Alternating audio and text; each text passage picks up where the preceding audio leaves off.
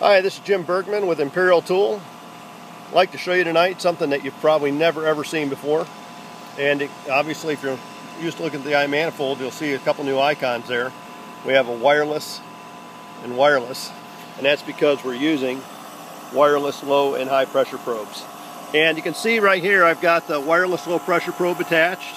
I've got it tied into the low side of the system with a low temperature measurement. That's just measuring off the T1 here, so I've got it plugged into T1 and I've got T1 on the high pressure probe plugged in, connected onto the liquid line down there, and connected to the high side. So we're actually measuring the suction pressure and the high side pressure wirelessly. Got the manifold just hanging over here, the hoses are hanging off of it because the probes do talk back to the manifold. But you can see here, right now, wirelessly, I'm measuring my capacity. I'm doing 3.07 tons of cooling, 36,000 BTUs, and I've got my wireless high and wireless low pressure probe. If I tap this, it'll pop up the manifold and I can go back to iManifold on that probe and you can see there that my uh, suction pressure went back down and tanked at the bottom. And if I tap it again right here it'll go down to the bottom back to back to the wireless probe 3 and it's going to go right back to the uh, to the low pressure probe and do the reading. So I can also look at this through a list view and I think this is probably the most powerful view so I'll swipe this to the side here. We're going to go into wireless probes and you can see all the wireless probes are in but some of you guys haven't noticed yet you can tap that and actually open those up and see what the probes are reading. So you can see right here now I've got my uh, supply return air wet bulb dry bulb supply wet bulb dry bulb my low pressure my high pressure and over here my superheat and my subcooling right on my uh, off my wireless probes. So if I had 12 of these in a list I could simply scroll up or down on the list and look at um, all 12 low pressure probes and you know 12 12 box superheats if I needed to on a rack system.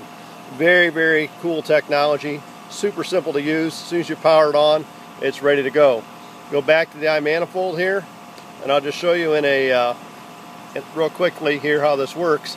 So if I if I'm in the performance section, I can actually swipe through. There's probe one, which is my return air wet bulb dry bulb. Probe two, which is my supply air. Probe three, which is my low pressure, suction line temperature, and superheat. And there's my saturation temperature for that probe. Flip over again. There's my high pressure, my liquid line temperature, and my subcooling, and saturation temperature there for that probe. So whenever you have the wireless lit here, that means that it's reading saturation temperature and superheat off the probe and calculating everything that way. Swipe again, and I'm back to my actual line temperatures. In this case, they're just hooked up to the iManifold sitting there in the airstream. So there's uh, you know nothing uh, nothing making any measurements there to speak of. And then back to my airside measurements and targets and finally back to performance. So super simple to use. Uh, I think you guys are really really like these low pressure probes. Uh, they're uh, they're they're really uh, expand the capability of the iManifold and allow you to do some really cool things like uh, if this is a rooftop unit I can easily put the panel back on there and not affect airflow through the condenser. So that's a, a very useful feature when you when you have these probes like this and you can simply uh, tie them back in, close the doors and see what things are doing um, and even you know watch it remotely from a distance because these wireless probes with have very good range and with a repeater you can extend the range as far as you'd ever want to go. So that's just a quick overview of the wireless probes. Thought you guys would really like to see this. Uh, sorry again for the uh, shaky video. I shot it by hand with my iPhone, but uh, you know I thought would quickly uh, give you guys an idea of what we could do. Uh, these are shipping this week, and I really uh, thought you guys would like to see them. So this is Jim Bergman with Imperial Tool. Thanks a lot for watching.